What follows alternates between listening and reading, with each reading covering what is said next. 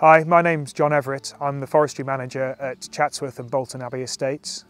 Uh, I manage approximately 2,200 hectares of mixed conifer and broadleaf woodland. Uh, my job role is to carry out all operations on the forestry ranging from the dangerous tree inspections on road lines right through to felling and restocking of plantation sites. So here at Chatsworth and Bolton Abbey we do uh, wide-ranging silvicultural operations ranging from large-scale clear fells through to small low-impact operations such as this horse logging which is providing firewood for our firewood business. After studying for A-levels at Sixth Form College I uh, went to Bangor University and studied to do a BSc with honours in forestry and forest products.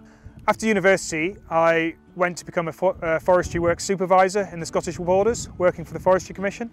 Following that, I went to become a planning forester, working primarily on wind farms uh, to begin with, but then writing forest management plans, continuous cover plans, and organising felling and thinning programmes uh, across the district.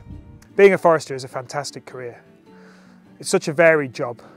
You have such a wide range of schools ranging from conservation through to mechanical engineering, civil engineering, economics.